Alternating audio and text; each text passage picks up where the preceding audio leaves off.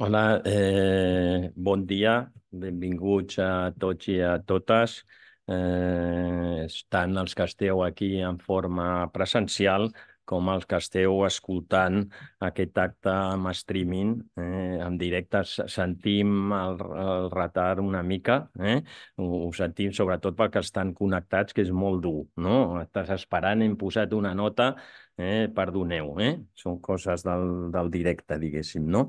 Eh, el primer el que vull és, és saludar el nostre convidat eh, d'avui, el senyor Josep Rull Andreu, eh, que és el tercer cap de llista eh, per Junts amb aquestes eleccions al Parlament de Catalunya, eh, que, que es celebraran aquest diumenge, el 12 de maig, eh, el dia de Sant Patrici. Eh? Sí, sí. Ai, eh, llavors és un dia eh, important eh? I, i és un, important, és un dia molt important per, per Catalunya, no? No és Sant Patrici, Sant Pancraci, perdó. Eh? Perdó. Salut i feina. Molta gent, sí, exacte. molta, molta gent s'equivoca i llavors ja, ja vull equivocar-me perquè així dona més ressò. Ah. Ja, ja sabeu que no és Sant Patrici, sinó que és Sant Pancraci. Eh? Un, un, un màrtir molt jove, eh? Eh? un màrtir molt jove i, i, i és un patró doncs, jo, de, de, jo de la prosperitat. Llavors desitgem eh? que a Catalunya tinguem prosperitat, no? Eh, saludar les personalitats i autoritats que estan amb nosaltres, diputat del Parlament de Catalunya i amic, Joaquim, eh, cònsul de la República Txeca, eh, president de l'Autoritat eh, Catalana de Competència, col·legiats de mèrits, membres de la Junta, eh, del Col·legi d'Economistes eh, i presidents de comissions. No? Eh, avui, eh, eh, l'objectiu d'avui és conèixer les propostes de caràcter econòmic eh, que, que, que Junts, eh, que el partit de Junts i el, el seu cap de llista, Carles eh, Puigdemont, doncs tenen per afrontar el que seria el futur, eh, el futur dels propers quatre anys a la nostra Catalunya. No? Eh, jo només diré unes paraules de lo que pensem des del Col·legi d'Economistes de Catalunya. No? Nosaltres creiem eh, que s'ha d'abordar aquest període amb optimisme. Eh? Eh, Catalunya hem passat moltes situacions difícils, no? I avui, evidentment, és un entorn que hi ha molta incertesa geopolítica, geoeconòmica en el món, eh? però nosaltres ja tenim experiència i, a més, jo crec que ho afrontem amb una situació econòmica que no és dolenta. Estem molt millor eh, a Catalunya que, que altres països del nostre entorn, eh, europeus, no només ens tenim que comparar amb Alemanya, eh, amb França, amb Itàlia. Eh, nosaltres tenim una situació millor, tenim un creixement que no està malament, 2%, igual és possible que tinguem aquest any o alguna més. Eh? Llavors podem fer coses. Catalunya arribarà aquest any a 300.000 milions eh, d'euros de PIB. Eh? L'any passat vam assolir 100.000 milions d'exportacions. Eh? Eh, Barcelona superarà el PIB eh, o ha superat l'any passat 100.000 milions de PIB, o sigui que no és que sigui per llançar coets, eh? però no, el que no podem ser és màrtirs eh? i pensar que estem en una situació dolenta. Eh?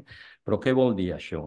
Però que el que necessitem són eh, governs eh, forts que donin estabilitat i seguretat, que tinguin consensos eh, entre tots els polítics perquè es prenguin decisions, es puguin prendre decisions efectives eh, de futur i, i, i igual algunes difícils. Eh, I això des del Col·legi de Catalunya, si hi ha decisions difícils que es tenen que prendre, eh, doncs sempre podem ajudar, recomanar i us podeu recolzar el que és l'opinió, eh, una opinió professional, eh, eh, que com sabeu tenim economistes amb un prestigi important dintre d'aquest col·legi. No? Eh, volia dir eh, que els economistes van fer una enquesta i el que ens preocupa, eh, el que ens preocupa, jo crec que és que des del punt de vista econòmic ens preocupa la sequera, com una preocupació important. La segona preocupació és el dèficit fiscal que tenim a Catalunya de fa anys arrossega. Eh, això el que ha fet és incrementar la deuta no només de la nostra comunitat autònoma, sinó d'altres comunitats. Amb aquest sistema, a partir del 2008, en uns anys es va multiplicar per quatre eh, la deuta de les comunitats autònomes. Això és un sistema que no funciona, eh? No, no està ben distribuït, eh, els, els ingressos que ens toquen amb les competències, doncs no només a Catalunya, sinó a altres comunitats. El que passa que altres comunitats i no, no tenen la veu tan forta com tenim a Catalunya per afrontar aquestes, aquests temes. Llavors tenim que liderar a veure com s'escanvia el, el sistema de, de financiació autonòmica. No? Això és important. La situació política també preocupa, eh? preocupa els economistes, també preocupa la reforma de manques estructurals que tenim, no? eh, ens preocupa doncs, tindre millors estructures eh? i ens preocupa també la baixa productivitat eh, que tenim, perquè tenim d'anar a una economia eh, més forta, eh, que, que tingui un valor compartit eh, i per tindre aquesta economia s'ha doncs, de pujar una mica la productivitat. No?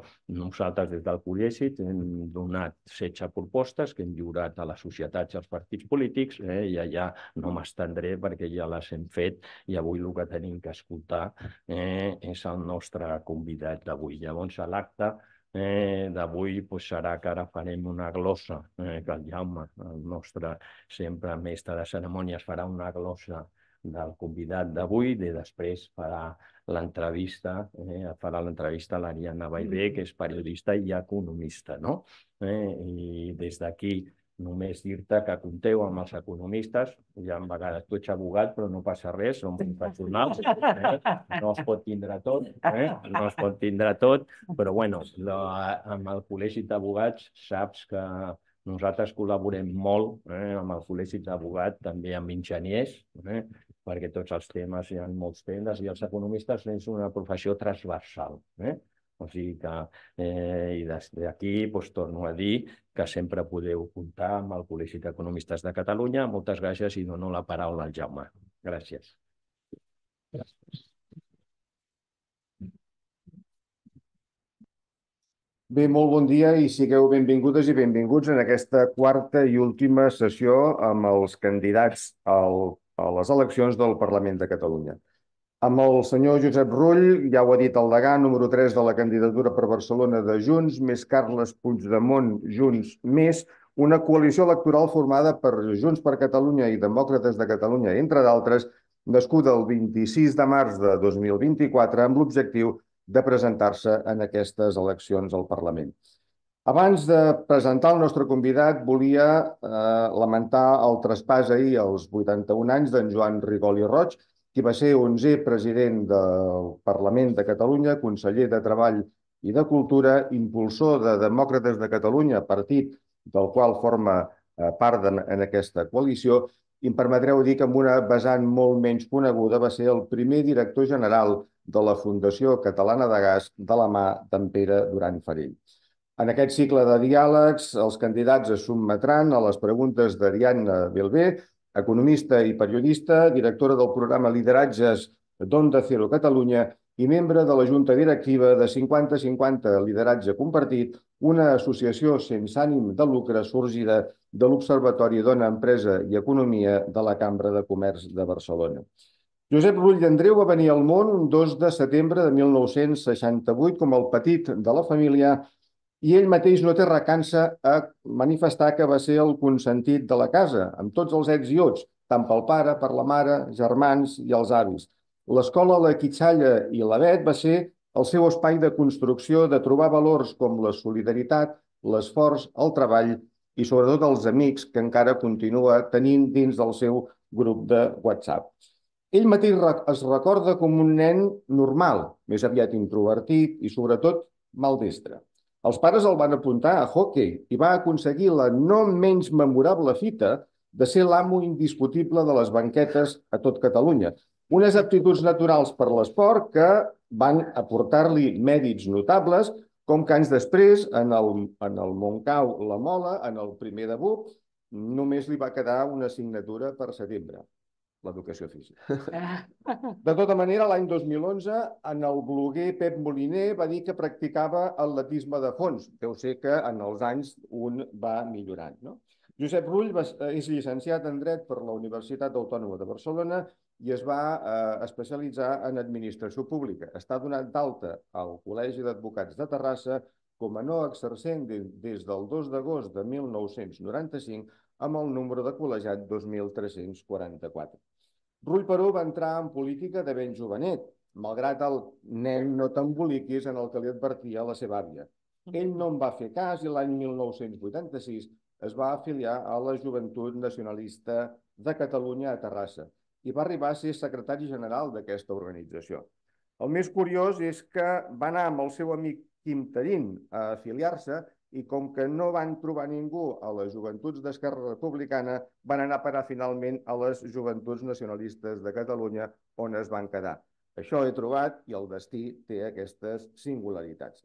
No és d'estranyar que amb aquests antecedents, a l'hora d'escollir la carrera universitària, es volgués decantar per les ciències polítiques, amb el petit inconvenient que la carrera en aquells moments només es feia a Madrid. I, per tant, va, va optar per una elecció d'utilitat, com era cursar la carrera de dret a l'Autònoma.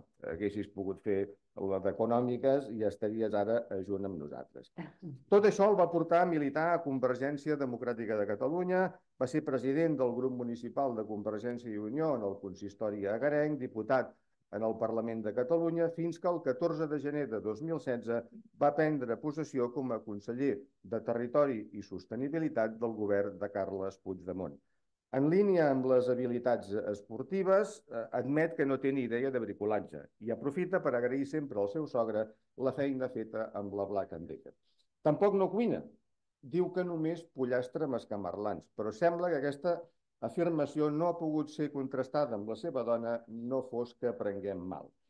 Recorda la història que en Roc no coneixia de Jaume Cabré com la primera novel·la que va llegir, les aventures d'en Roc Pons, un noi qualsevol de Barcelona de finals del segle XX, que apareix sense proposar-s'ho l'any 1714 en ple setge de Barcelona per les tropes de Felip V. D'altra banda, però, recita en colpidor accent d'adolescent el primer paràgraf del manuscrit del segon origen. En Rull és un polític hàbil, destret i, sobretot, molt audaç. Enraona, que no parla, amb solidesa, tot i que a vegades abusa de la terminologia política de curset d'escola d'estiu. Té un tracte exquisit, de conversa assenyada, un riure suficient i unes mans que l'expressen amb convicció. Cau bé fins i tot en els seus, i, això, i en això comparteix el mèrit de James Stewart en, la, en el seu gran paper de George Bailey a la pel·lícula Que bello és vivir. Ningú no és un fracàs si té amics, Josep Rull no es cansaria de veure aquesta pel·lícula de Frank Capra de l'any 1946. Però de la seva infantesa, amb 10 anys, recorda l'heroi televisiu Massinger Z, on el professor Juso Kabuto construeix el mega Massinger Z com a arma secreta contra les bèsties mecàniques del doctor Infern. I era ser una vez un hombre dels vespres del dissabte de 1979, però segur que no va veure el capítol 15 titulat El segle d'or espanyol, doncs la direcció de televisió espanyola de l'època decidí no emetre'l al considerar que l'episodi contenia estereotips relatius a la llegenda negra espanyola. Escolta Dire Streets, Sade, Els Pets, Albert Pla o els Pet Shop Boys, però si li poses al cotxe la cançó de The Mamas and the Papas, California Dreaming, vol que el viatge sigui inacabable. I ja per acabar, per sobre de tot, Josep Rull és un tintinaire de cap a peus. Amb ell vaig conèixer el món, un món que la nostra generació, orfa de low cost, amb prou feines podia conèixer, assenyalar en el seu moment el nostre convidat. Xala amb l'afer Tornasol, amb Tintín al Tíbet, amb l'Illa Negra, amb el cranc de les pinces d'or i així fins a recitar els 25 títols protagonitzats per Tintín amb el petit Fox Terrier Milú, els policies Dipon i Dipon, la Bianca Castafiori, eh, Castafiori o el vell llop de mar capità Haddock amb els seus renecs com aixafaterrossos aprenent de dictador amb salsa de coco, arpelluts, banda d'ensenyals de, pallús amb confitura d'erició, gamarús, pelacanyes o tros de tifa interplanetària amb ulleres. De fet, al seu despatx de la Generalitat hi tenia el quadre del reporter que ha marcat generacions al costat d'una estelada poc dissimulada. Tintín, el despatx del Rull, es va fer indepe. I ja per acabar, una frase seva del Tribunal Suprem. No puc deixar de creure i treballar per un país millor i amb més oportunitats. Un país lliure on sigui impossible que algú sigui empresonat per les seves idees. Moltes gràcies, Josep, per la presència en el Col·legi d'Economista. Ariadna, tens la paraula. Gràcies.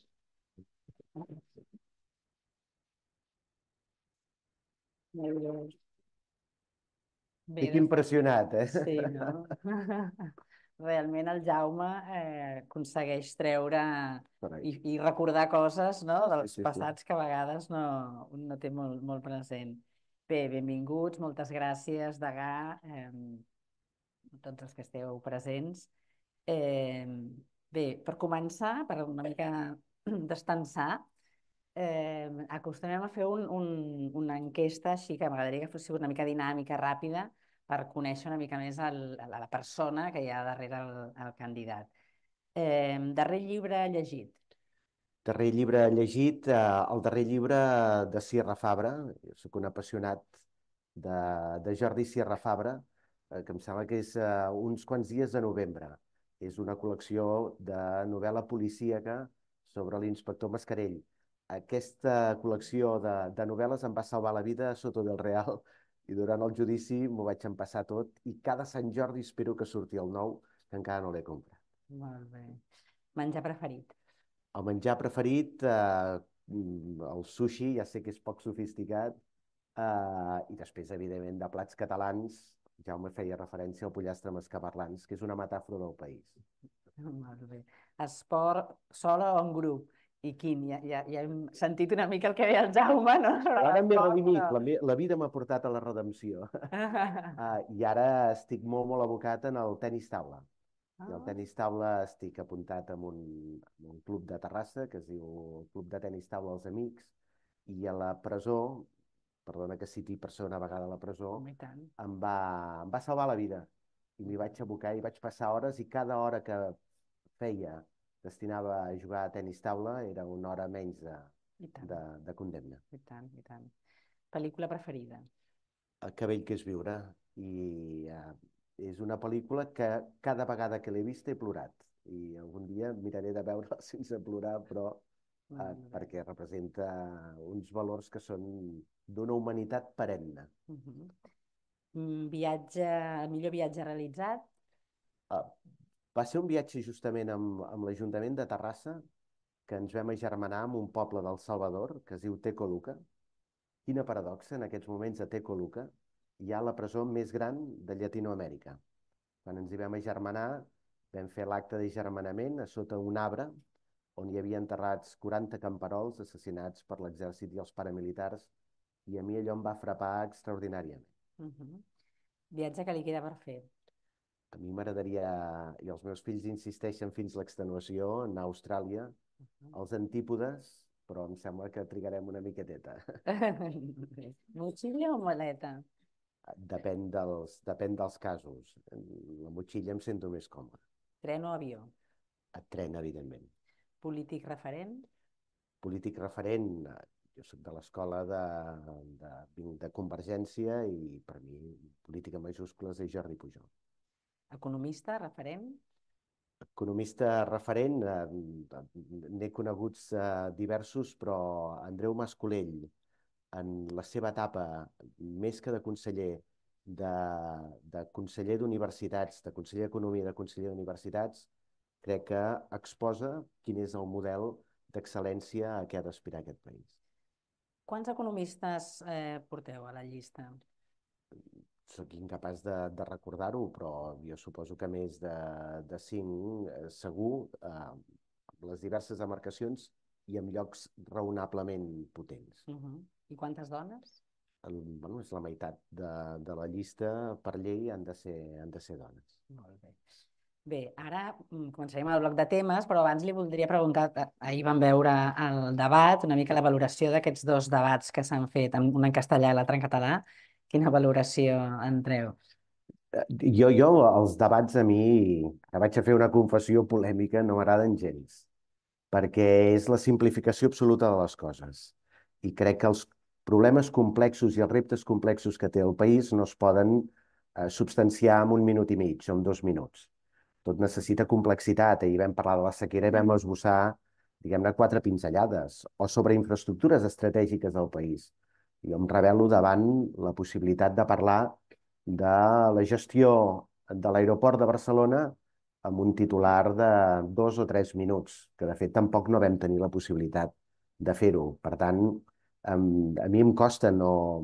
a mi m'agrada que els temes poder-los treballar amb precisió i sobretot un element fonamental per la política, per la vida, són els matisos. Sense matisos és molt difícil de construir, diguem-ne, un relat polític i un projecte polític eh, sòlid i solvent. Massa pinzellada gruixuda, massa 140 caràcters i un debat d'aquestes característiques, evidentment, és molt positiu, perquè et permet eh, detectar quin és el tarannà de cada candidat, però no resol la possibilitat d'afrontar a fons temes que són rellevants pel dia a dia de la gent d'aquest Bé, país. doncs intentem-ho ara. eh? Vinga. A veure, quina és la seva diagnosi de l'economia catalana actual?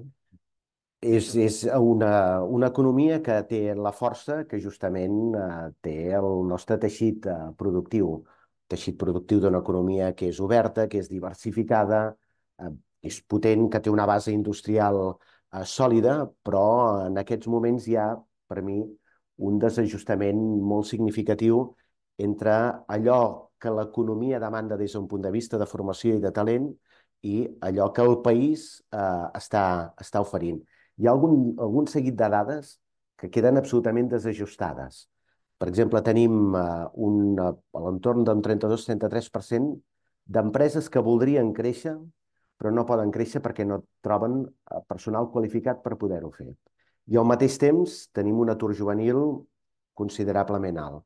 I al mateix temps tenim una part de la gent que està treballant en aquests moments que està sobrequalificat respecte la feina que està, que està duent a terme. I al mateix temps, de tota la població que està en condicions de poder treballar, eh, diguem-ne, tenim dèficits significatius de formació bàsica. I, per tant, hem de ser capaços d'ajustar tots aquests elements. Eh, estem creixent, però s'està reduint les classes mitjanes i, per mi, l'element que neguiteja més és que en determinats aspectes essencials l'ascensor social ha quedat encallat, ha quedat bloquejat L'ascensor social eh, bàsicament reflecteix el, el següent concepte, és poc sofisticat, no? però és, eh, diguem-ne, és molt tangible. Que l'esforç pugui tenir recorregut. Quan en determinats casos passa que aquest esforç no té recorregut, eh, i ens està passant en massa ocasions, parèntesi, tenim la, la generació de gent jove més formada i en uns determinats moments de la història d'aquest país tenir formació, tenir actitud, haver abraçat la cultura de l'esforç tenia recompensa i tenia recorregut. I en aquests moments, en determinats àmbits del nostre país, això ha quedat encallat, per diversos factors. I um, l'economia és robusta perquè hi ha una, diguem una energia extraordinària, però ens està passant això, un ascensor social encallat, i per altra banda, un marc mental, um, un terreny de joc conceptual que és cada vegada més intens en el país, jo crec que hem de ser capaços de girar-ho, de desconfiança amb aquells que emprenen. I una administració que en lloc d'acompanyar, en massa ocasions, limita i entorpeix. I ara el que necessitem és que totes les energies del país puguin fluir. I aquí és on un concepte poderosíssim, que és la col·laboració pública-privada, ha de poder tenir, diguem-ne, els recorreguts adequats per poder tornar a reviscular el país. I un darrer qüestió, seré més breu després, no? Mm -hmm. Però que és el... Hi ha un intangible, un altre intangible que és molt poderós, que és l'autoestima. I en aquests moments nosaltres anem mancats d'autoestima. El país ha perdut la seguretat que havia tingut amb ell mateix. I això és el que hem de ser capaços de recuperar. Mm -hmm, molt bé. I quin seria el principal problema econòmic que, que abordaríeu des de en el cas de que arribéssiu a, a la presidència? És, és, uh, el degà hi ha, fet, hi ha fet referència, que ens limita i ens uh, llasta extraordinàriament, que és el dèficit fiscal rotund, contundent, que arrossega Catalunya i que es va, es va perpetuant. I això, diguem-ne, afecta fonaments essencials de l'estat del benestar, i ho comentàvem en el, en el debat en diverses ocasions. Que, que no només és un tema de recursos, sobretot és un tema de recursos, però hi ha altres qüestions. Si volen, després hi podem entrar. Però en matèria de salut, en matèria d'ensenyament, en matèria de, de serveis bàsics, eh, el fet de no tenir un sistema de finançament adequat ens limita. O de l'àmbit on vinc jo, de les infraestructures. Eh, clar, nosaltres hem hagut d'utilitzar mecanismes per poder finançar infraestructures estratègiques del país en l'àmbit de les vies d'alta capacitat. I nosaltres som un país que hem hagut de fer determinades um, autopistes i autovies estratègiques per al país, autopista Terrassa-Manresa, els túnels del Garraf, sense els quals el Garraf o Baix Penedès avui no serien el que, el que són en pagament explícit. Però en un determinat moment vam haver d'utilitzar els peatges a l'ombra, cosa que ens ha condicionat eh, extraordinàriament. Quan vaig començar a ser conseller, l'any 16 pràcticament no vam poder fer cap actuació en matèria d'infraestructures. Infraestructures que eren absolutament eh, estratègiques i, per altra banda, també limita molt les possibilitats de, de, de creixement en sectors claus del, del país. Per una banda, tenim el tema del dèficit fiscal i, per altra banda, limitacions normatives d'un teixit productiu que és molt diferent d'aquells amb els quals se'ns obliga a competir, que és el sistema econòmic de, de Madrid. Eh? I després aquí entraríem tot el tema tributari, fiscal... Ara, ara hi entrem, ara hi entrem. Um, en base a tot això, clar, el requisit, ja ho dèiem, que, que és la millora del model de finançament, sí. no? Els... Com ho farem? Exacte, com ho farem? Perquè els socialistes ens parlen no, d'un consorci tributari, Esquerra parla més de, de, del finançament singular. Quina proposta és la, la vostra? Qui és el, el, el, plantejament? Podem dir pacte fiscal, podem dir concert econòmic, podem dir finançament singular, però la idea bàsica i rellevant és eh, sortir del marc de la multilateralitat de la LOFCA, buscar un plantejament de relació bilateral i a partir d'aquí poder tenir el, diguem-ne, poder gestionar íntegrament tots els tributs que paguen els catalans i les, les catalanes. Uh -huh. Per tant, allò, en termes de pinzellada no gruixuda, extraordinàriament gruixuda, tenir la caixa i la clau de la caixa i a partir d'aquí veure quina ha de ser l'aportació de Catalunya respecte a aquelles despeses comunes de l'Estat i respecte a aquells fons de solidaritat respecte d'altres comunitats autònomes que no poden ser eterns, uh -huh. perquè el nivell de convergència que sí que s'ha produït entre les dues Alemanyes després de la reunificació, a l'estat espanyol continua sense produir-se i això és eh, simplement és simplement inaudit. Hem de poder moure'ns en aquests paràmetres. Per què tenim aquesta actitud refractària respecte al consorci que apunta el PSC, per bé que està reflectit en l'Estatut de Catalunya? Perquè eh, hi ha una constant, governi qui governi, que són els nivells d'incompliment dels compromisos i els nivells d'incompliment d'allò que està establert a les diverses lleis, ja sigui els incompliments rotuns a la disposició addicional tercera, en el període inicial de vigència i, per altra banda, el nivell d'incompliment de les inversions. Que ahir li comentava Salvador Illa. Uh, clar, el que no té sentit és que el nivell d'execució sigui tan ofensivament baix. Uh, l'any dades de l'any 21, que és l'any del reencuentro, de la represa, de la conciliació, de la pretesa pacificació, no té sentit que el nivell d'execució pressupostària a Catalunya sigui del 36% i en canvi a Madrid superi el, 70, el 170%. No té cap mena de... No té cap mena de passa amb la Generalitat, no? O sigui, el... La Generalitat, els nivells de compliment de, de capacitat d'execució d'allò que està pressupostat històricament ha estat molt més alt, molt sí, més alt i s'ha situat. Sí. Una altra cosa és si nosaltres tenim la capacitat de licitar l'obra pública que el país necessita, eh, en molts, en molts aspectes, però fixi's la, la paradoxa, que és que l'any on es va produir major, sempre amb uns pressupostos que estan per sota d'allò que el país necessita. I recordin la disposició addicional tercera que diu que l'Estat hauria d'invertir en els termes del nostre pes a l'hora de generar eh, la riquesa del PIB d'aquest 18 19%, sempre hem estat per sota. Però l'any en què, malgrat estar per sota, s'ha executat d'allò que estava pressupostat un percentatge més alt, paradoxes, va ser l'any 2017. 2017, si no m'erro, es va executar un 82%. Hi ha dos elements. Jo era conseller, eh? i per tant, tinc una, una mica de, de medalla. Hi ha un primer element que és una actitud de fermesa. Quina paradoxa, eh? Quan hi ha reconciliació i aquesta mena de pacificació més gestual cooperativa, 36% d'execució l'any 21. I l'any 17, aquest 82%. Per tant, una posició de fermesa també dona recorregut. Però, per altra banda, a, a, més enllà de la fermesa, el que hi havia era molt mètode. Recordo que nosaltres vam preparar tot l'equip del Departament de Territori i Sostenibilitat per fer un seguiment permenoritzat de quines eren les diverses etapes, fases d'execució de tot allò que estava previst en els pressupostos.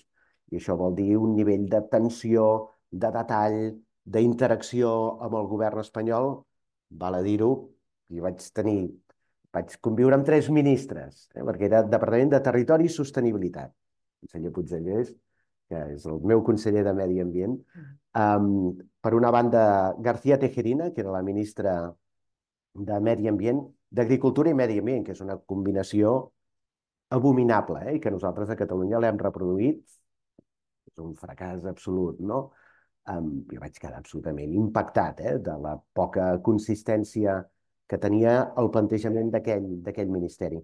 I en matèria de foment, Anna Pastor, no, vaig, no ens hi vam entendre gens, però en canvi el ministre Íñigo de la Serna va ser un molt bon interlocutor. Mm -hmm. molt, amb ell i amb el seu, i amb el seu equip. A vegades hi ha gent que queden sorpresos de dir t'hi entenies, ens hi enteníem bé i vam articular un mecanisme en el qual, a banda d'haver-hi aquesta, aquesta diguem-ne, ambició nacional, eh, hi havia metodologia per fer possible que allò que es pressupostava efectivament s'executés, i això és determinant. Uh -huh.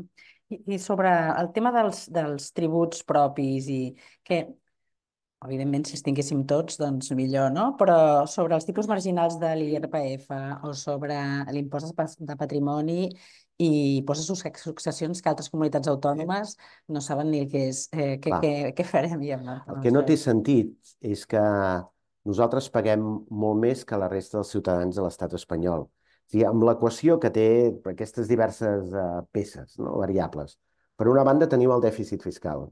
Per altra banda tenim un nivell altíssim d'inexecució en termes pressupostaris. No té sentit que l'única recepta que s'aporti des de Catalunya sigui situar la pressió fiscal per sobre de la mitjana de l'estat espanyol. Molt per sobre de la mitjana de l'estat espanyol en determinats tributs que simplement a d'altres territoris no existeixen i, per tant, no siguem capaços de poder-hi actuar. Com pot ser que en relació la inflació que hi ha hagut, aquest 15% acumulat, hi hagi 11 comunitats autònomes que hagin deflectat l'IRPF i Catalunya, i això el conseller Jaume Giró, i ell hi va insistir fins a l'extenuació, i no s'ha aconseguit eh, aquesta deflectació. O amb determinats eh, trams, el més baix, poder fer una rebaixa sensible de l'impost de la renda o l'impost de, de successions.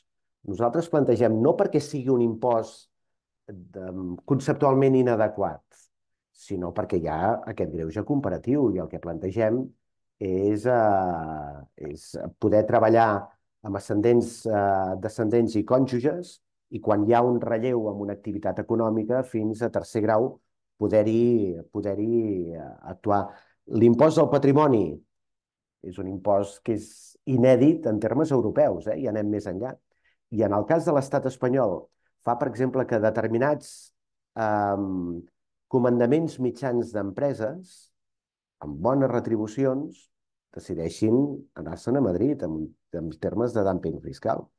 O determinats sectors vinculats a l'àmbit de la recerca, ens està passant que aquest país s'està descapitalitzant. I, per tant, també hem de veure en quins termes ho podem, ho podem, eh, podem gestionar això. I una altra cosa són els tributs propis de la Generalitat de Catalunya.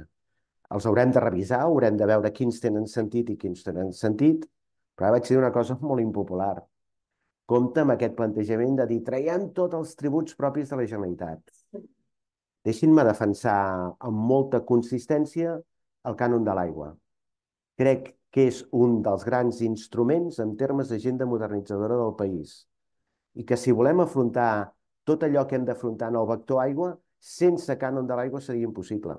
Sense cànon de l'aigua, Albert Vilalta, un conseller amb, jo crec que és el gran, diguem-ne, un dels grans motors en termes de modernització del país, quan es va fer primer el cànon de sanejament, que va evolucionar amb cànon de l'aigua, si Catalunya té 520 depuradores i tenim el 97% de la població de Catalunya amb aigua sanejada, molt per sobre de la mitjana de l'estat espanyol, no és per atzar còsmic.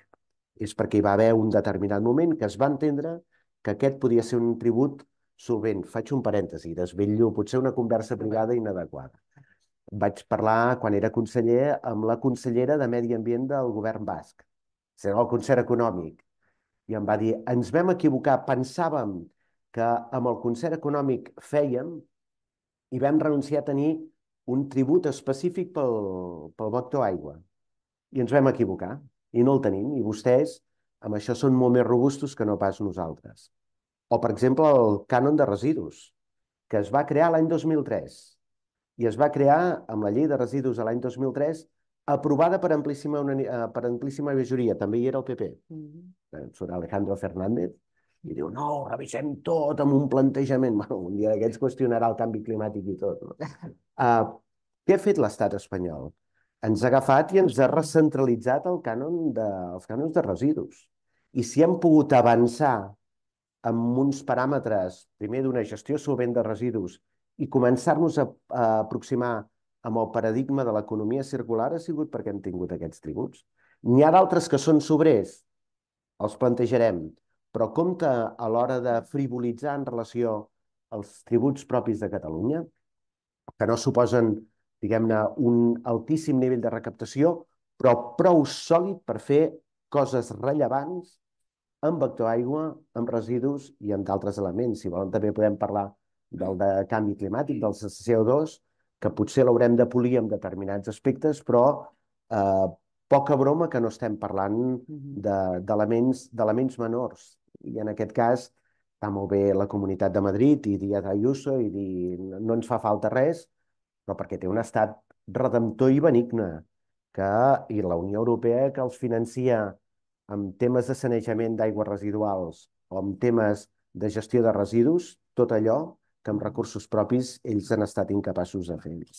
Doncs anem, anem cap a l'apartat d'infraestructures, que com li avançava el Degà, des del Col·legi d'Economistes estem molt preocupats amb, amb aquesta, aquest dèficit d'inversió i hi han cinc punts que ens agradaria una mica comentar i accions eh, i quina seria sobretot la més prioritària. Els punts, li, li detallo quins punts volem tractar i aquí més o menys li posa més prioritat a uns o uns altres. Eix del Mediterrani, eh, desplegament de rodalies, ampliació de l'aeroport de Barcelona al Prat, la sequera, les mesures extraordinàries i les energies renovables i el model de, energètic. Tots són importants. És que és molt difícil uh, diguem-ne de poder triar. triar. Home, allò que interpel·la directament la gent i el dia a dia, i, i en termes també de, de competitivitat, productivitat, de, el tema de Rodalies és absolutament descarnat. Sigui, el càlcul de les hores que es perden justament per un sistema que no és un sistema fiable, és absolutament devastador. L'altre dia anàvem un debat a la SACOT i a la PIMEC i es parlava d'absentisme laboral. Hi ha una part, diguem-ne, que respon a, a, alguns, alguns elements que no acaben de ser, de ser consistents del nostre sistema econòmic, però hi ha una part d'aquest absentisme que ve justament de la poca fiabilitat d'aquest sistema. Per tant, nosaltres hem d'aconseguir um, aquest traspàs uh, integral del sistema de rodalies i regionals. I ara potser em poso un vesper. A veure. Però no per fer exactament el mateix que fa l'estat espanyol. Nosaltres tenim un sistema de rodalies que va ser concebut en l'època de Mercè Sala, una excel·lent directora de Renfe. Era Renfe i Adif junts. Quan se separa l'operador del gestor de la infraestructura, comencen a anar malament, malament les coses. Però les línies que hi ha són línies concebudes amb uns paràmetres antics. Ara què hauríem d'aconseguir? I quina és la nostra proposta?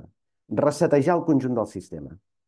Fer desaparèixer els serveis que circulen en les actuals línies. Per què hi ha d'haver una línia 1 estàtica o un R2 o un R3? Per nosaltres, un element fonamental és el país en xarxa. I vam demanar a una empresa suïssa que ens pogués fer un nou plantejament de serveis sobre l'actual xarxa. De fet, això ja ho van assajar amb èxit a Suïssa. Quina era la idea fonamental? Entre grans conurbacions urbanes, prioritzar la, la, la velocitat comercial, reduir temps de trajectes i fer que el ferrocarril sigui extraordinàriament competitiu. Té sentit que per anar de Manresa a Barcelona es trigui el mateix ara que l'any 1969. Per què passa això? Passa bàsicament perquè hi ha més serveis, que vol dir més estacions, i més freqüència. Si tu no tens una infraestructura vigorosa que et permet incorporar trens semidirectes, això et passarà, et passarà sempre. Una dada. Catalunya encara tenim una part de dues línies en via única. Ara s'està corregint l'R3. De Barcelona, a Montcada, a Vic, Ripoll, Cerdanya, Puigcerdà i Arenys, eh, Arenys Blanes. Tenim en via única. Madrid, si no m'erro, té 80 quilòmetres de via quadriplicades i permet, diguem-ne, combinar, eh, aturar estació amb estació i els trens semidirect. Però fins i tot encara que no tinguis aquesta millora de la infraestructura, amb un canvi de, planteja de planejament o de plantejament pots prioritzar els trens directes, reduir velocitat comercial i fer un sistema de nodes que et permetés eh, incorporar llançadores cap a, cap a Barcelona. S'ha de ser molt audaç. Què ens deia aquesta consultora suïssa? Ens deia, allà a Suïssa hem aconseguit que hi ha estacions diguem que es fa un petit eh, transbordament, i fent el transbordament reduïm el temps de trajecte. El transbordament que ens donàvem, el temps era de 3 minuts. Ho podíem garantir aquí, i vam dir, no, ja DIF, ja DIF és una catàstrofe des d'aquesta perspectiva. Però nosaltres, amb Rodalies, amb els altres aniria més ràpid. Um, o no. Sí, no. sisplau, amb, si no acabem. Amb Rodalies, que, per fer exactament el mateix, no, hem de ser ambiciosos des d'aquesta perspectiva i hem de fer un canvi de plantejament. Hi ha tot el tema del vector aigua, que aquí hi ha, hi ha un, un element, una determinada concepció. Deixi'm reivindicar el nom originari que tenia el Departament de Política Territorial i Obres Públiques la primera part política territorial que incorporava un element fonamental que hem perdut, que és la planificació. Els països seriosos i solvents són aquells que són capaços d'aconseguir grans consensos i una planificació amb durada de 10-15 anys. Perquè si no és impossible desencallar determinats elements que són fonamentals pel país. Amb aigua, aquesta planificació la vam aconseguir amb el Pacte del Ter l'any 2017. El Pacte del Ter què era? El Pacte del Ter era reduir l'aportació del Ter a l'àrea de Barcelona, posant d'acord territoris, el que portava aigua i el que rebia aigua, usos, ús domèstic, ús agrícola, ús industrial, um, ús turístic, tot el vector ambiental, amb un full de ruta precís en tres escenaris temporals i en el qual planificàvem quines infraestructures havíem de ser capaços de construir per eh, ser molt més eficients, per evitar pèrdues, però per altra banda amb l'estratègia de desalinitzadores i regeneració d'aigua, que a Catalunya som excel·lents des d'aquesta perspectiva. I teníem els recursos per fer-ho. Teníem el pacte, teníem el consens, i què hi ha hagut? Un govern que ha tingut por, i sóc molt contundent. Per què la desalinitzadora de la Tordera um, es perd un any i mig o dos anys absolutament valuosos per por. Per por. Ah. Perquè hi havia la connexió, s'havia de fer la connexió, són 60 megawatts per poder uh, alimentar aquesta depuradora, vull dir, aquesta desalinitzadora, i s'ha de connectar a través de la línia de molta alta tensió. Uh, I el govern del president Aragonès es va espantar i va dir, ui, ui, ui, abans de les municipals això és molt complicat. O en tema de regeneració d'aigua, uh -huh. tenim una empresa que és Akbar que ha sigut excel·lent des d'aquesta perspectiva, però amb la mesura que qui ha liderat aquest procés en l'àmbit del Llobregat no ha sigut eh, l'àmbit públic, sinó en termes de col·laboració público-privada, quan hi ha una actitud refractària, les coses s'alenteixen i hem perdut un temps absolutament valuós. Cal prendre decisions quan toca prendre-les, perquè hi ha la planificació i els recursos. I si vol, després podem parlar de l'aeroport, que aquest eh, aquí també s'ha anat amb una, amb una simplificació. Breument. Ho podem fer? Sí, sí, tant. Breument.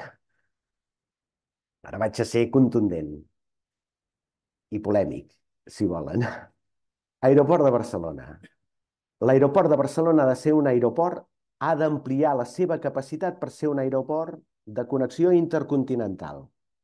Això és fonamental en termes econòmics pel país, perquè les nostres empreses es puguin projectar a l'exterior i per poder captar inversió eh, estrangera en termes productius, en termes industrials. Necessitem que l'aeroport sigui això. Però l'aeroport de Barcelona en aquests moments és un aeroport de baix cost, sí que té connexions intercontinentals, té unes 45 destinacions, però no pot créixer més, no per la infraestructura, sinó per la governança, perquè l'aeroport de Barcelona dins el sistema AENA està condemnat a ser la T5 de Madrid. Si se'ns limita la possibilitat de competir amb igualtat de condicions amb Madrid-Barajas, l'aeroport de Barcelona acabarà condemnat a ser un aeroport amb poca connexió intercontinental i amb molt vol de, de baix cost. Ens hem de revelar davant d'això. I els sectors econòmics i socials d'aquest país ja van veure quin era el tema l'any 2007. Se'n recorden de l'acte aquell de l'IS? Mm -hmm. Aquell acte que es demanava gestió individualitzada a l'aeroport de Barcelona. I hem passat de la gestió individualitzada amb un determinat plantejament que a mi m'inquieta, és a dir, si allarguem la tercera pista ho tenim tot resolt. No és veritat. Que no és veritat. Perquè hi continuarà havent un problema de decisió. Pregunta, per què no hi ha una connexió directa un vol Barcelona-Tòquio eh, per un problema d'infraestructura? Bàsicament perquè hi ha unes dificultats extraordinàries que imposa eh, el govern de l'estat espanyol per no perjudicar a Madrid. Segona cosa, quan es pren una decisió estratègica que Ibèria abandoni en bloc l'aeroport de Barcelona per anar a Madrid, això ve per casualitat, és una cosa, diguem-ne, pacífica. Quan abans de la Covid Norwegian decideix aterrar a Barcelona, fa una inversió molt considerable a la Terminal 2 i després de la Covid desapareix, hi ha una companyia de baix cost que la substitueix, perquè la fan fora. Bé per casualitat, quan Emirates, eh, abans de venir a Barcelona, ha d'operar necessàriament a Madrid amb una mena d'impost estrany, té sentit. Quan teníem Girona i Reus, que incorporaven molt vol de baix cost de punt a punt, es decideix eh, a baixar les tarifes a Barcelona per desertitzar Girona i Reus i col·lapsar Barcelona. Com dirien els de l'Ebre, no mos equivoquéssim. No només és un tema d'infraestructura, és un tema de decisió política i de governança. I, per altra banda, es pot plantejar una configuració diferent de les pistes que permetin passar de 70 a 90 operacions. I darrera qüestió, Gatwick. Gatwick acull el 85% del, de les operacions que té l'aeroport de Barcelona. Saben quantes pistes té l'aeroport de Gatwick? Una pista. Amb una pista, el 85% dels vols que hi ha a Barcelona, amb tres pistes. Hi ha un model també de, de gestió del control aeri que permet que les operacions redueixin distància entre els avions que aterren i s'envolen. I Gatwick té una part molt important de vols intercontinentals. I ultimíssima qüestió amb tot aquest debat sobre l'afectació a la Ricarda del Remolà, espais, reserva natural parcial de Catalunya i xarxa Natura 2000, pregunta que faig a l'aire. Vostès han sentit mai alguna presa de posició pública de la vicepresidenta de Transició Ecològica del govern espanyol, de la ministra de Medi Ambient del Regne d'Espanya? Han sentit mai que s'hagi posicionat, que hagi dit alguna cosa? Quan eh, Lucena, el president d'AENA, insisteix, s'activa, ha dit alguna cosa al Departament de Medi Ambient? Al Ministeri de Medi Ambient? Jo vaig ser conseller de Medi Ambient. I les cartes d'emplaçament de la Comissió Europea en relació als espais protegits eh, de l'entorn de l'aeroport de Barcelona eren demolidors. Demolidors. Volem saber exactament què diu el Ministeri de Medi Ambient espanyol i què diu la Comissió Europea. Perquè s'està intentant fer un plantejament sobre una hipòtesi que finalment pot passar que no s'acabi produint mai. Insisteixo, per ordre governança, canvi de gestió en relació a la infraestructura que tenim i millor la infraestructura. Jo prioritzaria molt més la terminal satèl·lit i prioritzaria molt més la ciutat aeroportuària. Molt bé. Ja està, ja no... Perfecte, molt bé, molt bé. No, no, és que tot és, molt interessant. la bèstia sí. de- Molt bé, molt bé. Bé, doncs eh, passem al tema de productivitat que també esmentava abans el, el Degà. Quin seria el pla per diversificar l'economia i promoure sectors estratègics? I, i insisteixo en... Uh, nosaltres considerem que hi ha diguem-ne, la, la, la, la mateixa estructura econòmica catalana es mou amb aquests paràmetres, però tenim un punt de partida que és molt potent, que és el pacte, el pacte nacional per la indústria. I, Catalunya ha de ser diversificada, però ha de tenir un fort eh, pes de, de la indústria en el conjunt de l'economia catalana, que és aquest eh, horitzó d'arribar al 25%. I en aquests termes, nosaltres eh, acollim allò que se'n diuen les transicions bessones que està plantejant la Unió Europea. Transició digital i transició verda. Aquests són dels dos elements que ens han de garantir aquests elements de competitivitat eh, interna. I per altra banda, el que no podem fer és agafar determinats altres sectors i simplement descartar-los de l'equació o blasmar-los. I ens està passant. Ens està passant que tot allò que fa referència a un turisme de qualitat, que és capaç d'entendre, eh, diguem-ne, quin és el canvi de paradigma, per exemple, en termes ambientals en el país, simplement descartar-lo de la qüestió, de l'equació. I a mi em neguiteja i em, ens preocupa. O, per exemple, l'àmbit immobiliari, que també és un sector econòmic estratègic del país. Um, en aquests moments uh, hi ha un corrent conceptual que tot allò que fa referència a l'àmbit de la construcció és intrínsecament pervers. Nosaltres, quan pensem en l'àmbit immobiliari, pensem en promotors, en constructors, amb agents de la propietat, amb arquitectes, amb enginyers, amb sector industrial vinculat en aquest àmbit. És una metàfora del país. Eh? Per què tenim un problema de preu en l'habitatge? Perquè s'ha escanyat absolutament l'oferta. Per què s'ha escanyat? Perquè no hi ha seguretat jurídica. Perquè eh, s'ha renunciat a qualsevol element de col·laboració público-privada. Per tant, hi ha tots aquests elements i un darrer, una darrera qüestió, que és la potència a l'hora de crear coneixement científic que té Catalunya, que nosaltres aquí som excel·lents. Cada vegada estem millorant tots els elements d'innovació i transferència. Tenim molta capacitat de crear coneixement científic. De fet, el Consell Europeu de Recerca Científica que atorga aquestes beques que són radicalment meritocràtiques. Nosaltres estem a primera posició. Hem de ser capaços que hi hagi una transferència seriosa i, i rotunda. Catalunya és una economia diversificada i ho ha de continuar sent.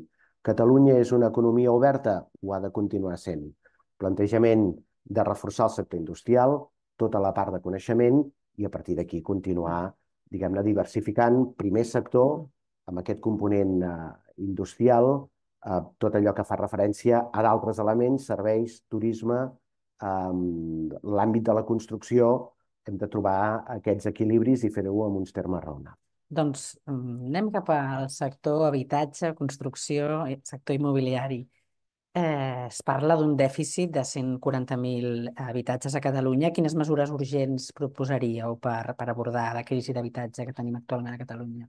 Hi ha un element bàsic i també faig una, una certa, perquè és una, una autoculpa col·lectiva amb determinats elements. Tenim uns procediments urbanístics que són lents i espessos. lents i espessos. Triguem excessivament entre que hi ha la voluntat d'impulsar determinats sectors a que finalment es poden acabar, es poden acabar concretant. Per tant, necessitem un urbanisme que sigui molt més àgil a l'hora de permetre de posar sol a disposició i que hi pugui haver activitat.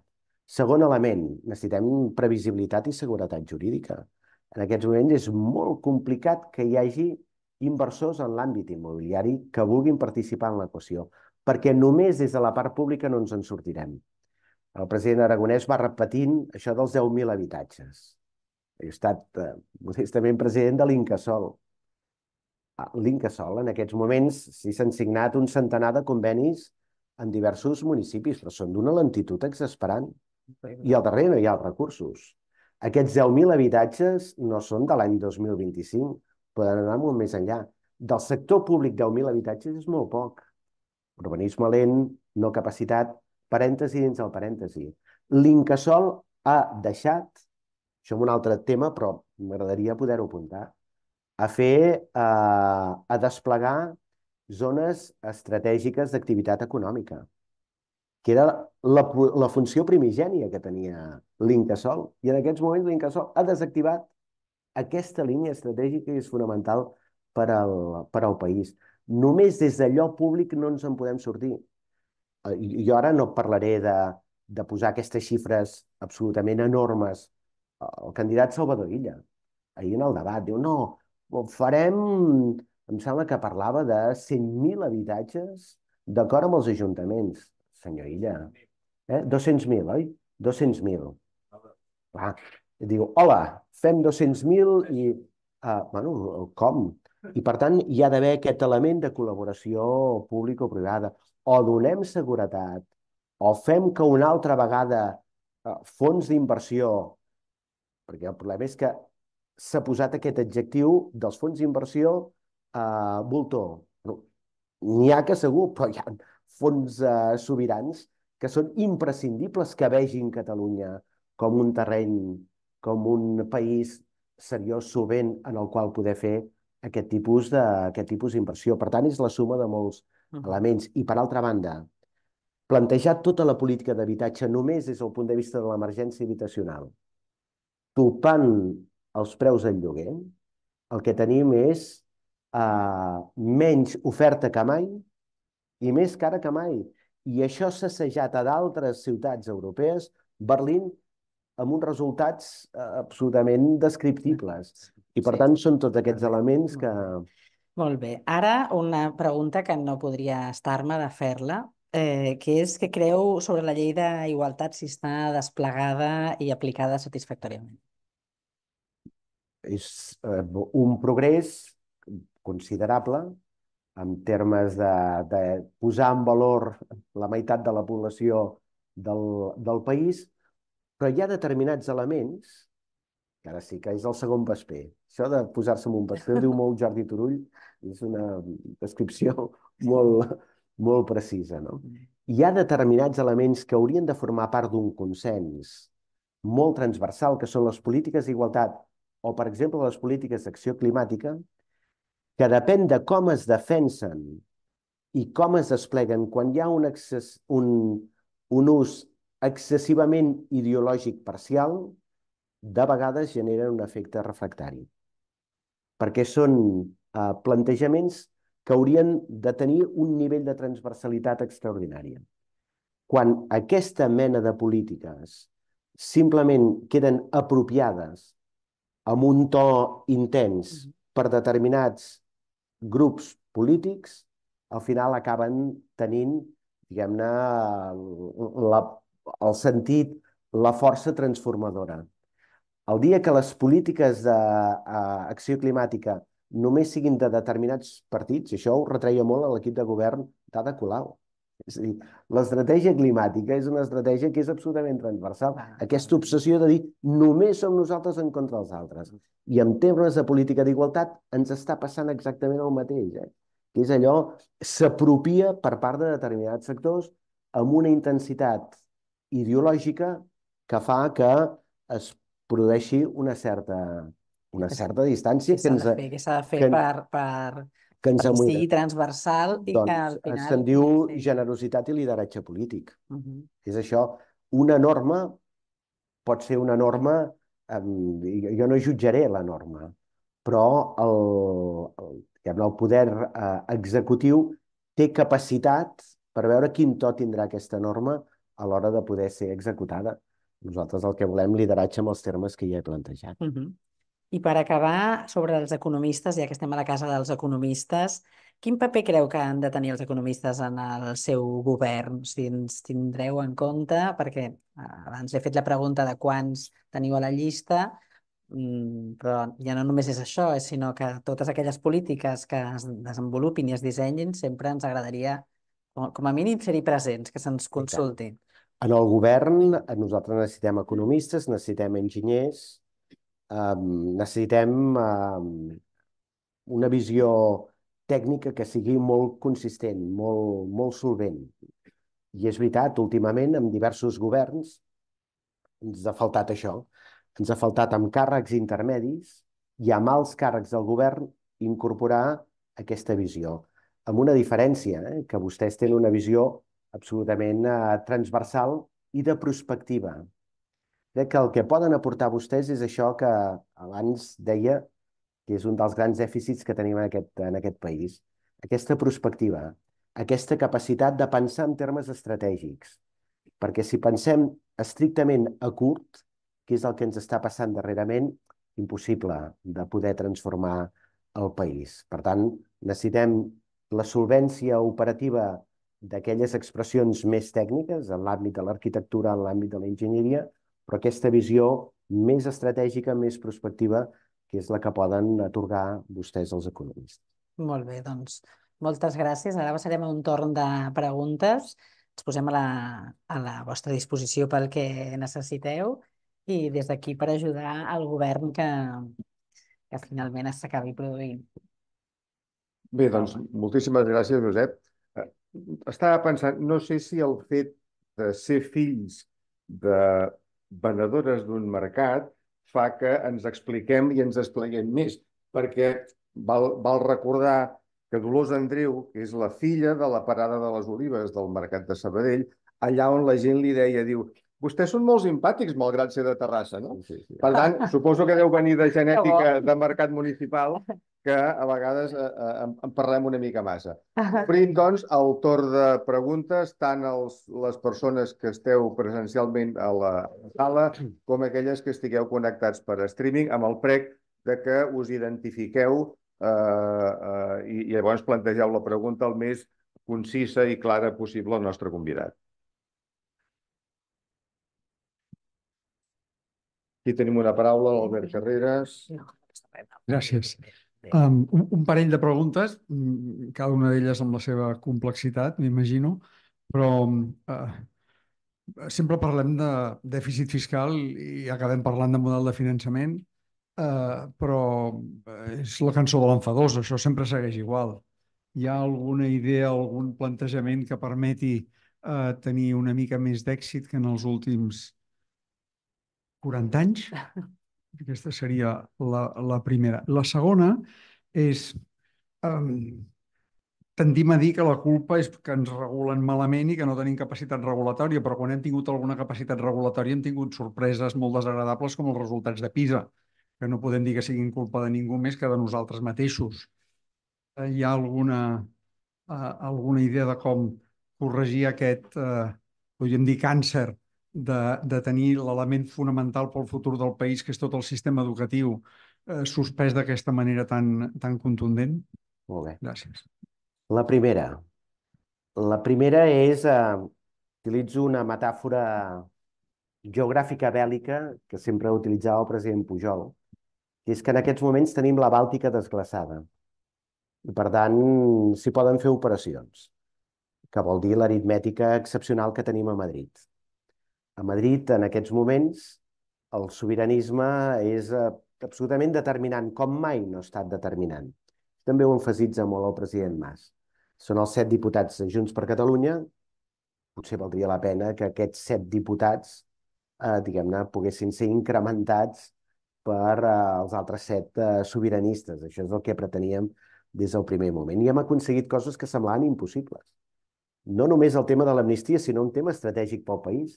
Estem començant a negociar d'una manera molt robusta la delegació de competències en matèria d'immigració. A través del 150.2, recordeu que és aquest article de la Constitució que permet que amb una llei orgànica es puguin transferir o delegar competències exclusives a l'Estat. L'última vegada que es va emprar l'article 150.2 va ser per transferir en els Mossos d'Esquadra les competències de trànsit. Això estem parlant dels anys 90. Ara és la segona vegada que s'incorpora. Set diputats acaben sent miraculosos. Um, aquesta és la força de negociació que tenim. I això és el que fa que sigui molt diferent en contextos anteriors. I hem de ser molt sòlids a l'hora de poder-ho posar sobre la taula i de poder-ho negociar. I a més hem utilitzat un mecanisme de negociació amb garanties, amb seguretat, que algú li molesta profundament i que pot quedar, diguem-ne, sorprenent, que és la figura dels mediadors, del mediador internacional. Quan estem negociant els temes d'immigració ho estem fent amb mediador internacional. Quan obrim la carpeta de millora del sistema de finançament ho estem en aquests termes. Però, clar, la millora del sistema de, finança, de finançament de Catalunya obliga a canvis estructurals molt rotuns a la resta de l'estat espanyol. Aquest és el problema, és a dir, aquest dèficit fiscal, aquesta aixeta oberta, ha fet que l'estat espanyol concebés el seu dia a dia en uns termes que són insostenibles. El tema de l'alta velocitat. No és possible de mantenir l'alta velocitat en els termes que estan plantejant si no hi ha un dèficit fiscal rotund en aquests temes. D'acord amb el tema PISA. Perquè el problema no només són els recursos o la capacitat de regulació, sinó com utilitzes aquestes competències. I Catalunya havia estat capaç de construir un sistema educatiu sòlid per a la Catalunya dels 6 milions. Sòlid. Amb moltes dificultats des d'un punt de vista de finançament i de recursos, sí. Sempre poso el mateix cas i glosso una figura excepcional de la història d'aquest país, que és Irene Rigau. L'any 2015, en plena retallades, informa PISA Catalunya estava per sobre de la mitjana de l'estat espanyol i per sobre de la mitjana de l'OCDE. Ara tenim més mestres que mai, els pitjors resultats que mai. Per què? Perquè hi ha desorientació. I passen dues coses que són um, absolutament determinants. Primer, tu no pots... El Servei d'Educació de Catalunya està basat en l'escola pública i en l'escola d'iniciativa social, amb l'escola concertada. Això ens fa ser diferents de moltes altres comunitats autònomes. Això no passa a Madrid, que és pública, privada i la concertada és molt petita. No pot ser que una part del sistema tingui aquesta actitud constantment refractària contra aquesta altra part del sistema, que és l'escola d'iniciativa social, que amb el tema de lluitar contra la segregació, diguem-ne, assumeix la mateixa responsabilitat que l'escola pública. Primer element. I segon, nosaltres proposem un pacte d'estabilitat al sistema no pot ser que cada conseller revisi d'una manera absolutament atzerosa les bases del, del sistema des d'un punt de vista de les prioritats en termes pedagògics, que és, eh, com que es van canviant constantment quines són les prioritats, hi ha un nivell de desorientació en el sistema que és absolut. De desorientació i de burocratització de determinats projectes que més que tenir impacte en els infants i en els eh, joves, el que tenen impacte és amb la gestió del dia a dia. Una dada que és la que, per mi, és la més... és una metàfora descarnada del que està passant. Centres de màxima complexitat.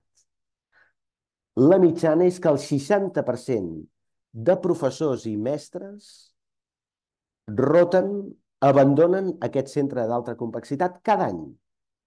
És impossible estabilitzar un sistema educatiu en aquests termes. Escola, hi ha models d'escola pública i concertada que són excel·lents. Deixi'm parlar de dos casos. L'escola Montserrat de Terrassa, pública, que és impecable en fer que l'ensenyament i ascensor social vagin vinculats, i la Salle Comtal de Barcelona, davant del Palau de la Música.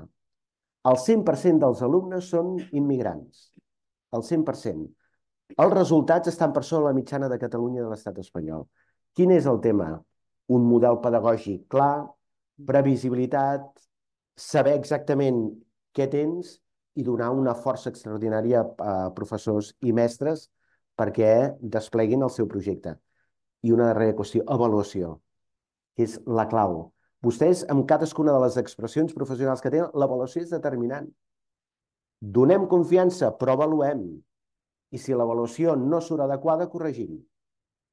Previsibilitat amb aquests termes. Però hem de fer una refundació a fons perquè la Catalunya ja no és la Catalunya dels 6 milions, és la Catalunya dels 8 milions i aquest repte demogràfic en molts aspectes està desbordant el sistema i això va més enllà d'un govern o un altre. És allò que els dèiem, aquesta prospectiva, aquesta capacitat de planificar 10-15 anys. Alguna pregunta a la sala? Si no, passaríem a les tres que hem rebut des de streaming. Una d'elles la, la planteja el senyor Ferran López de les Terres de l'Ebre i diu no ha parlat del reequilibri territorial i del món rural. Què pensen fer? Sí, amb, uh, és el país en xarxa, és el país enxarxat. És un país que a mi, més que parlar d'equilibri territorial, m'agrada més parlar de cohesió territorial, perquè vol dir que cada territori ha de tenir aquesta capacitat d'especialitzar-se en algun aspecte concret i poder trobar aquesta compensació entre el conjunt del, el conjunt del país. Aquí les infraestructures són absolutament fonamentals i n'hi ha una que és determinant, que és tot allò que fa referència a la digitalització, perquè et permet mantenir el talent eh, des del mateix territori amb possibilitat de poder connectar amb el conjunt, amb el conjunt del país. I, per altra banda, mesures concretes hem de ser capaços de canviar la llei de l'urbanisme i fer una nova llei de territori. La llei de l'urbanisme de Catalunya és una petita tragèdia, és una llei de talla única que estableix les mateixes exigències en un municipi de 200.000 habitants com Terrassa o Sabadell que un municipi de 50, 100 o 500 habitants. I això no té cap mena de sentit i constreny la possibilitat de desplegar models, models propis. Estem convençuts que amb una legislació de micromunicipis, amb aquesta llei de territori que doni consistència a les possibilitats de desplegament territorial, amb molt bona inversió eh, equilibrada. Puc posar una petita medalla? Eh, clar, eh, aquells dos anys 16-17 tenia molt pocs recursos. El Departament de Territori, sobretot la part d'obra pública, tenia molt poc marge de maniobra. Les dues actuacions que van prioritzar van ser la millora de la línia eh, Lleida-Balaguer-La Pobla, en ferrocarril, per tant impactava la Noguera i el Pallars Jussà, i l'obra amb carreteres més importants que vam impulsar va ser el túnel de Tres Ponts a l'Alt Urgell, a Organyà. És aquesta l'actitud i aquest és el, aquest és el, el plantejament i fer una molt bona planificació territorial. Jo crec que molt amb els plans territorials parcials els hem d'actualitzar perquè et lliuren les cartes perquè el territori es pugui empoderar i pugui desplegar tot el seu potencial. El senyor Miquel Llop de Lleida ens planteja, diu, ha parlat de la crisi de l'ascensor i de l'autoestima. Eh, com l'activaria, quins, amb quins eixos i quins instruments? Doncs és justament això, és eh, revigoritzar la, la potència del país hi és, l'energia del país hi és. Fem que pugui, que pugui eh, desplegar-se amb, amb, amb tota la seva força, no? Planificació, però també eh, canviar radicalment determinats procediments administratius. Nosaltres tenim un, un sistema procedimental en termes administratius basats en la desconfiança amb aquell que emprèn, amb aquell que inicia coses. I això ho hem de, ho hem de capgirar. Una administració, i ara potser simplifico, eh? hi ha molts matisos, evidentment, però una administració que en aquests moments cada vegada està més incorporada amb el concepte d'entrada no. I hauríem de ser capaços de poder-ho canviar. I um, en molts aspectes d'entrada sí. Per exemple, utilitzar el silenci administratiu, i potser ara entro ja en un nivell de detall, uh, amb caràcter preferent. Evidentment, hi ha d'haver tramitacions que l'administració ha de tenir el seu temps, però un cop exaurit aquest temps, no hi pot haver aquesta actitud d'encallar permanentment. Per altra banda, hem de compassar els temps de l'empresa i dels temps de l'administració i que hi ha un desajustament que en molts aspectes és molt contundent. Això, per exemple, està passant en transició energètica. Jo ara estic en l'àmbit privat, eh? estic treballant en aquests moments, no estic allavarat políticament, ara estic fent vacances. He anat 15 dies de vacances, estic treballant a la Mútua de Terrassa, eh, que és un gran centre sanitari. A Mútua de Terrassa estem buscant 7 hectàrees per fer-ho un parc fotovoltaic per alimentar d'energia renovable de quilòmetre zero l'hospital. L'hospital entre eh, aguts i intermèdia d'uns 800 llits. Vam buscar 6-7 hectàrees a Terrassa, no les vam trobar. Les vam buscar al Vallès, no les hem trobades. Hem hagut d'anar a la Garrotxa a buscar-les. Um, trigarem, si finalment aquest projecte surt, fixin-se, eh, és un projecte d'un parc solar relativament petit, uh, amb un propòsit, jo crec que és extraordinàriament lloable, que és proveir d'energia verda un centre sanitari del CatSalut, proveïdor del CatSalut, han d'informar set departaments. Ara ja tenim l'informe del Departament de, de Cultura sobre els jaciments arqueològics.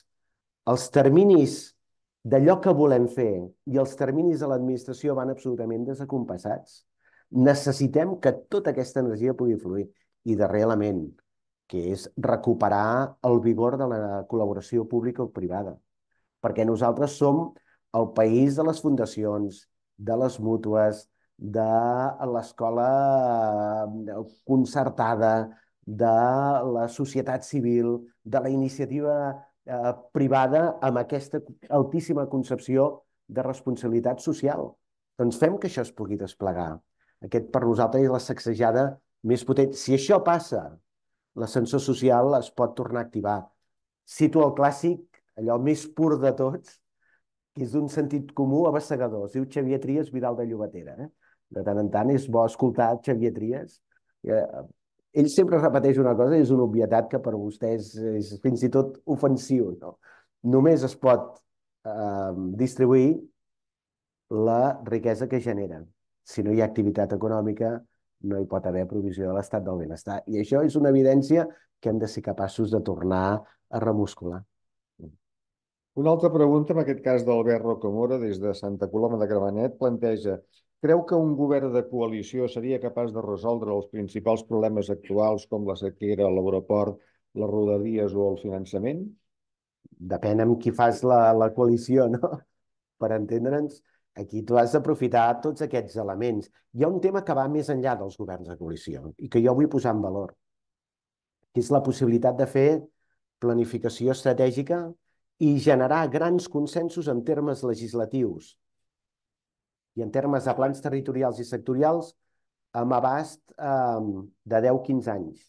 Això ho vam fer molt bé en un determinat moment quan hi havia el tripartit amb la llei d'educació de Catalunya, amb un lideratge des de l'oposició de Convergència i Unió.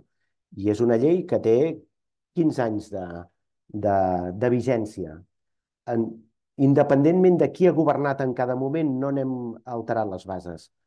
Com el model català de recerca científica que va concebre el conseller Mas Colell. Independentment de qui ha governat, això s'ha mantingut. I per tant hem de ser capaços de fer això. L'altre, amb qui, amb qui governem? El que necessitem, evidentment, és un govern amb una majoria sòlida, que respongui en aquests uh, propòsits, en aquest objectiu i aquesta manera de fer que els he dit, però sobretot que aprofiti la seva força negociadora en Madrid. I aquí és on amb l'equació el PSC té una relació de dependència rotunda amb el PSOE, que ara que la Bàltica està desglaçada, nosaltres no podem desaprofitar. I el que veiem és que el nivell de relació entre Moncloa i el Partit Socialista de Catalunya impedeix que el PSC pugui fer les reivindicacions que toquen i fer-les possible en aquest moment. D'altra banda, els sobiranistes sí que tenim l'opció de poder fer valdre el nostre pes i la manera de negociar, eh? que és la manera de negociar president Carles Puigdemont. Per aconseguir un sí poderós, de vegades has de dir un no molest. I saber dir que no, de vegades és molt complicat. Però val la pena, perquè havent-nos mantingut amb no robustos, hem aconseguit un sí més ambiciós en determinats temes. Aquesta és una manera de negociar. Molt bé. No sé si en la sala queda alguna pregunta per fer. Són justament les 11. tenim l'hora, l'espai d'hora i mitja eh, que teníem eh, previst. Eh, en nom del degà i del col·legi en el meu personal, igual que el de l'Ariadna, Josep, moltíssimes gràcies per la teva presència. Molta sort en aquestes eleccions i saps que el Col·legi d'Economista és casa teva i casa vostra. Moltes gràcies. Gràcies.